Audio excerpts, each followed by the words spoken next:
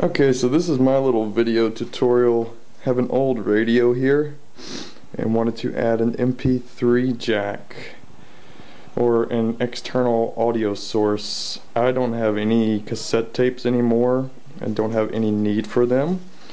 So what I did, I took the cassette head feed, which is going to have three wires. One of them will be your common ground the other two are going to usually be colored or red and white. They're the smaller ones.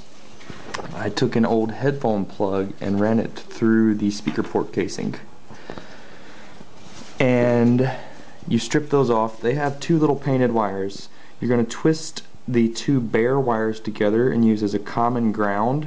Then you'll have two others, usually either red and blue or red and green. Those are going to be separate left and right channel, which you will then hook to the left and right channel of the tape deck feed. You do need to have a switch. If your radio has a switch that also doubles as the off position for your tape deck, what you do is disconnect the tape deck motor. It's going to have two wires going to it. Just disconnect those and make sure they are not going to touch each other. It's going to have two other wires, usually two other colors. On mine, they are orange and yellow and they go to a little switch which is activated when you push the play button.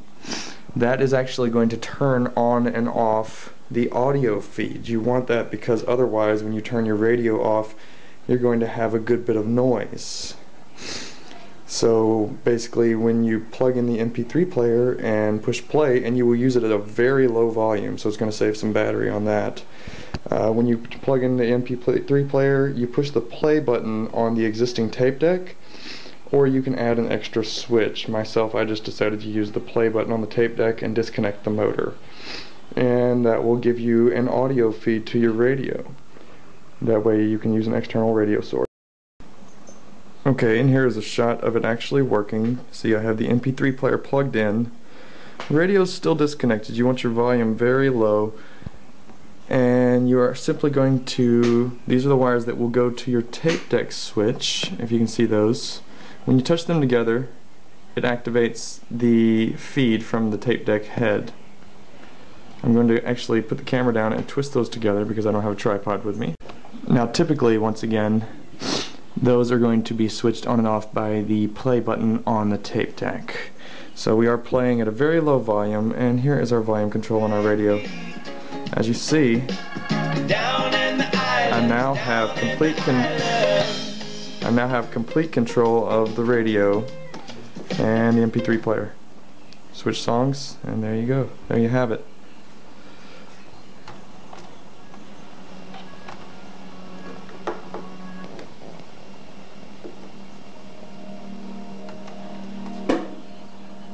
You actually want to keep the volume on your radio fairly low and you can control the overall volume from your MP3 player. Turn up the feed and it turns up the volume on the radio. See?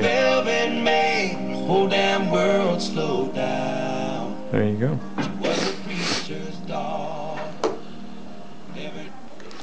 Alright, thank you for watching. You know, it's a little intimidating, but if you have a cheap radio and a cheap pair of headphones, you can easily accomplish this yourself. It's very basic stuff. Of course, you know, just a little disclaimer, you really shouldn't have it plugged into the wall while doing this, but I just had it plugged in for the sake of testing, and I pretty much know what to and not to touch. Alright, thank you, have fun. Okay, and here's the radio all put back together. Of course, right now we are on radio mode. Um, once again, you know, you kind of want to turn it down quite a bit before switching. So, you know, there's the volume pretty much all the way down. I'm going to switch it over to tape. A little bit of a blip.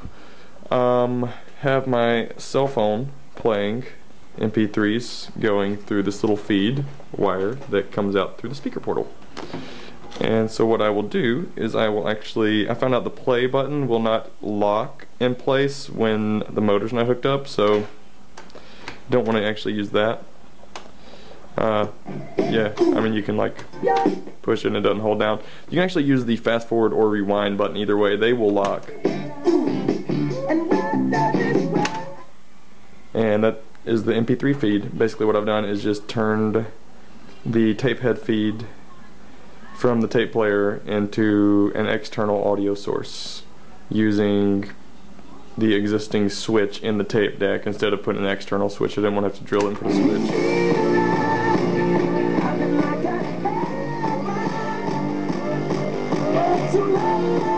And my cell phone is actually sitting at the lowest volume possible.